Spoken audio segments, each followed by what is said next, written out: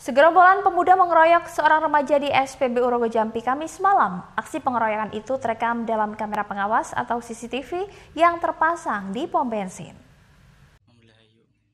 Dalam video yang kemudian viral di media sosial tersebut terlihat seorang remaja berbaju hitam berlari saat segerombolan remaja lainnya datang menyerang. Remaja yang diserang itu kemungkinan sedang mengisi bahan bakar minyak di SPBU. Dia tampak berlari meminta pertolongan kepada para petugas SPBU yang berjaga ketika gerombolan remaja lain datang dan kawanan remaja yang menyerang tersebut berjumlah belasan orang. Mereka menyerang seorang pemuda tersebut secara bersama-sama. Petugas SPBU yang berada di lokasi berusaha melerai pengeroyokan itu. Para gerombolan yang menyerang juga terlihat memakai baju dengan warna hitam dan mereka datang berboncengan menaiki beberapa sepeda motor. Dalam video yang terekam, aksi pengeroyokan berlangsung sekitar 20-30 detik.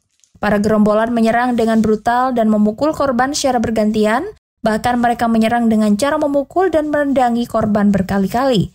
Kapolsek Rogo Jampi, Kompol Sudarsono membenarkan adanya aksi pengeroyokan itu. Lokasi persis kejadian berada di SPBU di Dusun Sidomulyo, Desa Gitik. Sudarsono mengatakan pengeroyokan itu terjadi pada dini hari. Belum ada informasi detail soal korban dan pelaku pengeroyokan.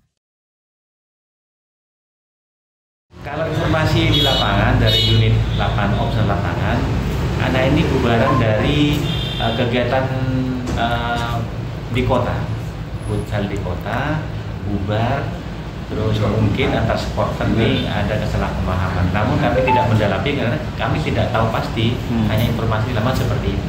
Kami sudah mendatangi dari pihak sekolah yang me mengeluarkan timnya untuk bermain futsal di di di GOR untuk melaksanakan pengawalan baik dari pemain juga supporter mulai dari sekolah sampai ke lokasi dan dari lokasi permainan juga sampai sekolah. Ya. Kami uh, setiap malam anggota standby dan patroli melaksanakan upaya-upaya untuk uh, meniadakan uh, kejadian yang seperti uh, kemarin malam terjadi. Oke, siap. Handoko Kusumo, CTV Banyuwangi.